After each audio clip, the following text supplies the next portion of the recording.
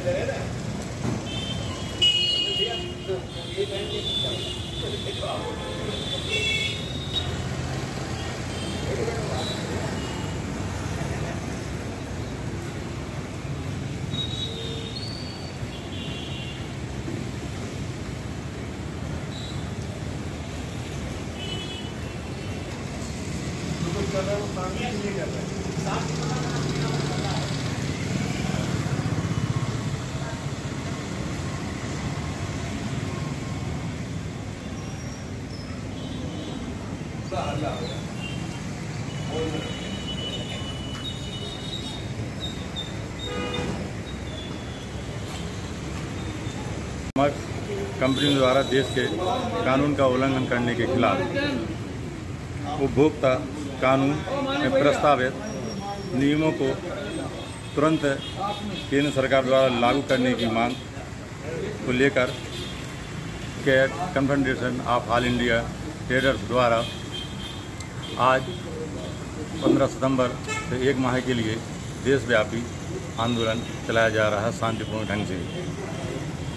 देश में 500 लोग आज हल्ला बोल कार्यक्रम में, धरना प्रदर्शन में बैठे हुए हैं। हमारे राष्ट्रीय अध्यक्ष बी सी भरतिया, प्रवीण खंडेलवाल जी, प्रदेश अध्यक्ष आदरणीय भूपेंद्र जैन जी, संगठन महामंत्री आदरणीय गोविंदाचार्य असाठी के तत्वाधान में यह हमारा जिला कैट के पूरे व्यापारी, सभी समाज, सभी दुकानों के, संगठन के प्रतिष्ठानों के अध्यक्ष शामिल हुए हैं।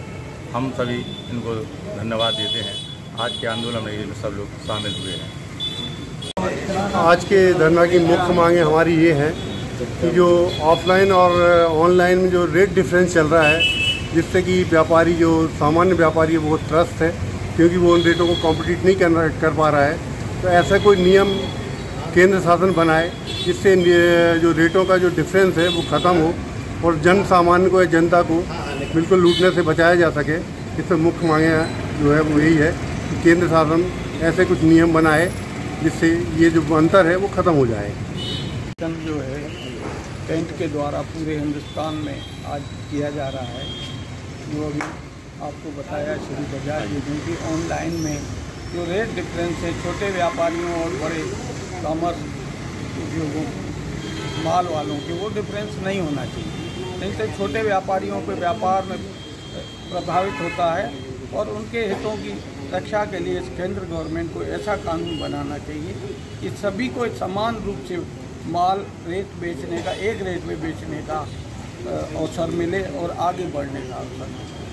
मोबाइल एसोसिएशन ने भी कैट का इस आंदोलन में समर्थन किया है, जो ऑनलाइन द्वारा अनैतिक रूप से व्यापार किया जा रहा है। उसके विरोध में आज कैट ने आंदोलन स्वरूप एक धरना दिया है उसमें दम, समस्त दमोह मोबाइल जिला एसोसिएशन ने समर्थन किया है। आज कैट द्वारा राष्ट्रव्यापी ई कॉमर्स कंपनियों के विरोध में हल्ला बोल कार्यक्रम दमोह में आयोजित किया गया है। इसमें युवा व्यापारी संघ द्वारा इस हल्ला बोल कार्यक्रम का पूर्णतः समर्थन किया जाता है और केंद्र सरकार से मांग की जाती है कि इस तरह की जो नीतियाँ हैं इनको पूर्णतः बंद किया जाए और व्यापारियों के हितों में कुछ ऐसी नीति लाएँ जिसमें व्यापारियों को लाभ मिले। युवा व्यापारी संघ कैट के साथ में है और इसका समर्थन करता है।